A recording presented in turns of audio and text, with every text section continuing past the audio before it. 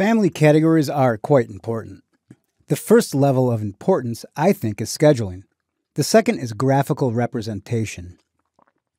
Both are heavily dependent on how we categorize our families. Also, you cannot create additional categories. In this video, I'd like to play around with family categorization and see how it affects our model. First thing I'd like to do is, wow, this will be the first time I've ever done this. See how we have families? Let's go to Sample Structural Family. Click it. Guess it's a truss, but I'm not exactly sure how this is categorized. Let's do this. On the Create tab, click Family, Category, and Parameters. Check it out. It's a structural truss. With structural truss selected, anything that has to do with the structural truss is going to show up down here. We can click OK. It's going to assign an Omni class number. This basically goes to the CSI format classification in here. OK, hit cancel, close out of here. Let's make a new family. Under families, let's go to new. I don't like this view. I think it's like that because of when we did the materials video. So let's right click, let's go view, Let's go to details. Okay. All of these are different types of families.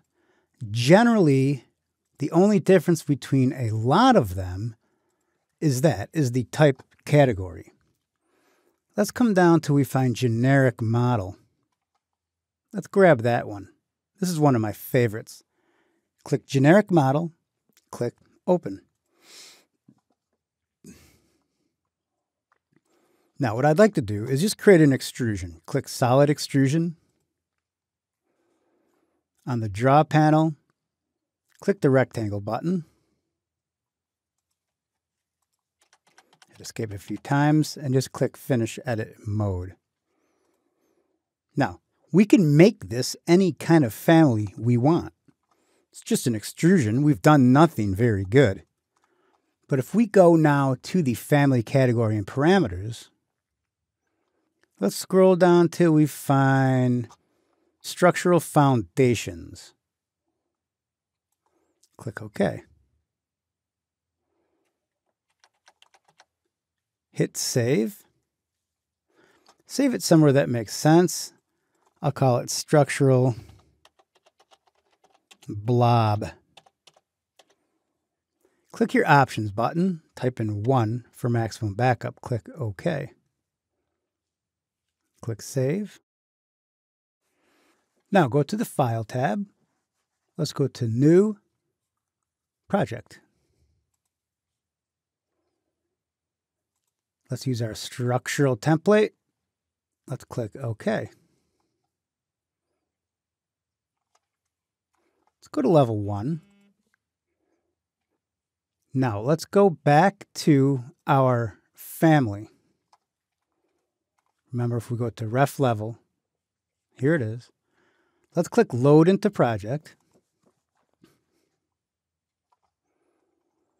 Let's pick a spot right here. Look at that. It's a structural foundation, simply a blob. What we can do though, go ahead and click on door. What I'd like to do now is load a family. I'm going to scroll back to where I'm keeping my document here. Grab structural blob, click open. Notice that structural blob isn't showing up here, only door openings. So if you click door, you're only going to get doors. Even if you load it in, you won't see it. Just so happens that that is a structural foundation. So if we click on isolated, there it is. So some categories are going to fit to what you want that object to be. Some may not, but you can see the importance of actually having a type category for every family you have.